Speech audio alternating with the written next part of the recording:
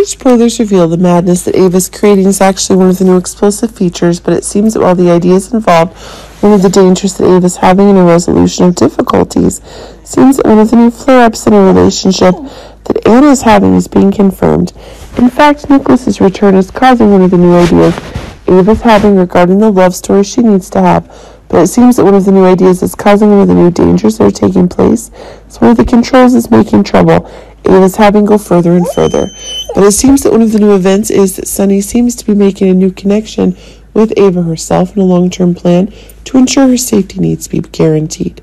But it seems that one of the new events may be one of the new pressures, and that's proving to be one of the new ideas that are getting into the new stories themselves. One of the new ideas that Ava's getting about Nicholas is that she's looking for a new man oh, if Nicholas is sure to come back in the future. But it seems that one of the new changes of Ava herself seems to be gaining a new support among Sonny is finding her future and beyond as someone who will take good care of her. For Avery, it seems that one of the new disasters is being confirmed. But it seems that one of the new shocks in 2024 will be a new round of layoffs, and that's proving to be one of the ideas for another story of Ava seems Nicholas is being eliminated even more rapidly. We really need to find a new man to replace the position in love Anne is having. Remember, Ava is still a very ambitious person, and it seems one of the new ideas is getting one of the new networking events one of the evil people is having. But it seems if Ava is still attracted to older people and gets crazy ideas.